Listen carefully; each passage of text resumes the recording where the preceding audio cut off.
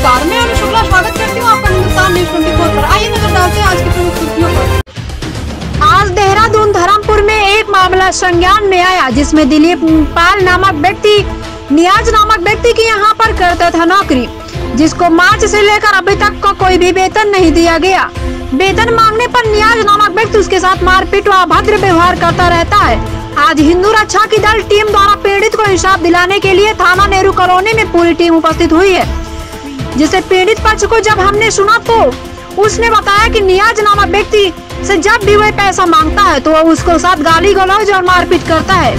आज पीड़ित व्यक्ति ने परेशान होकर थाना नेहरू कॉलोनी व हिंदू रक्षा दल की टीम से सहयोग मांगा और नियाज नामक व्यक्ति के खिलाफ कड़ी से कड़ी कार्रवाई करने की अपील की, जिसमें पुलिस प्रशासन द्वारा पीड़ित को उचित कार्रवाई करने का आश्वासन दिया हिंदुस्तान न्यूज़ 24 की टीम पहुँची है देहरादून के नेहरू कॉलोनी थाना में।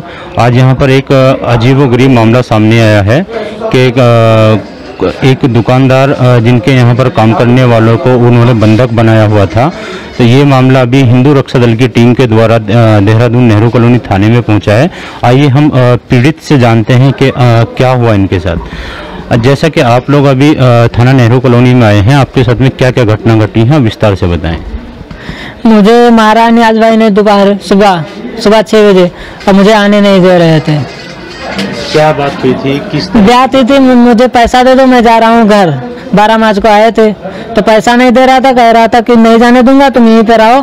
तो मैं ज़बरदस्ती झोरा उठाया चलने लगा तो दरवाज़ा बंद कर लिया और मारने लगा। कहा यहीं पे रहो नहीं जाने दूँगा। कितने दिन से आपको बंद करके रखा है और कितने दिन का पैसा है? मैं बारह मार्च का आया था तब के पैसा नहीं दे रहे थे। अभी तक आपको कोई पैसा नहीं दिया गया। जी।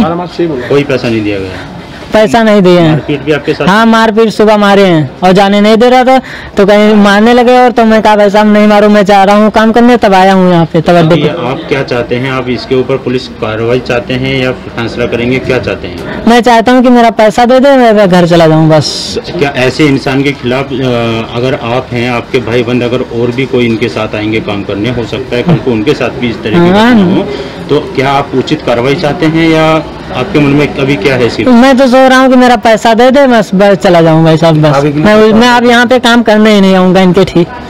बोल रहा था कि दूसरे के थे चले जाऊँ काम करने तो बोल रहा है देहरादून में किसी के पास नहीं जाने दूँगा तुझे। हम्म। हाँ। किस तरह की धमकियाँ मिली हैं आपको? बहुत धमकी दे रहे थे मारने की लब बेल्ट निकाली तुरंत मारने शुरू कर दिए कि कोई यहाँ भोसड़ी वाला नहीं बचा पाएगा। दरवाज़ा तुरंत बंद कर दिए बाहरी मकान के बगल में एक इनका और था रूम ना वो देख रहने लगा तो दरवाज़ा तुरंत बंद कर दिए सुबह। देखिए इस तरह की घटनाएँ बहुत ही निंदनीय हैं और हिंदू रक्षा दल जो देहरादून में बहुत ही अच्छे स्तर पर अभी कार्यरत है, काम कर रहा है, जनता के बीच में जाते हैं, उनकी परेशानियों को सुनते हैं और जो भी जिस तरह की उनको हेल्प की ज़रूरत होती है, वो भी दिन रात एक करके उनको हेल्प दिलाते हैं। लेकिन मैं हिंदुस्तान न्यूज़ 24 भी सरकार और पुलिस प्रशासन से अपील करता है, इस तरह के लोगों को कड़ी से कड़ी कार्रवाई की जाए ताकि आगे इनके पास अगर कोई काम करने आए, उसके साथ इस तरह की घटना ना घट सके।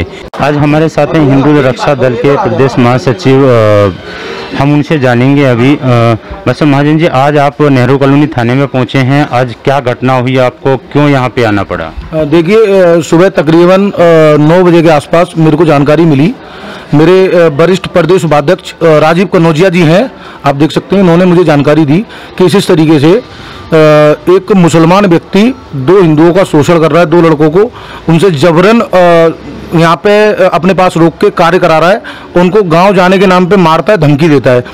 तो मैंने अपनी टीम को, अपने प्रदेश अध्यक्ष ललित शर्मा जी को इन्फॉर्म किया, अपनी टीम को ग्रुप में मैसेज डाला एलआईयू को इन्फॉर्म किया, उसके बाद मैं वहाँ स्वयं पहुँचा। जब वहाँ पहुँच के मैंने देखा तो मेरे प्रदेश उपाध्यक्ष जी पहले खड़े हुए थे, और भी टीम पहुँच चुकी थी। कुछ लोग पीछे से आ रहे थे तो हम लोग जब वहाँ पहुँचे तो वहाँ जाके हमने इससे बात की तो इसको बुलवाया फ़ोन पे, ये मौजूद नहीं था, जो मुसलमान जो है, ये मौजूद नहीं था वहाँ पे। तब इस लड़के से हमने बात की, तब इस लड़के ने बताया कि इस तरीके से मेरे साथ ऐसे शोषण कर रहा है, और उसको धमकी देता है कि मैं मुसलमान हूँ, मैं देहरादून में, मेरे बहुत लोग हैं, मेरी बिल्डिंग पे ये है, यहाँ वो है। हमने उसे बोला, तू आ भाई, आके यहाँ पे एक बार बात कर। तो हमने उसे बुलाया। आते ही उसने गाली गलौज इस लड़के के साथ शुरू कर दी, कि सुबह की मार भूल गया क्या?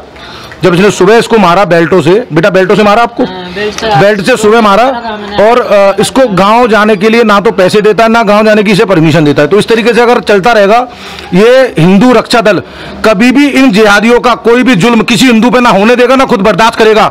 जयकारे वीर बजरंगे! हिंदुस्तान न्यूज़ 24 से सत्येंद्र चौहान ब्यूरो चीफ उत्तराखंड देहरादून।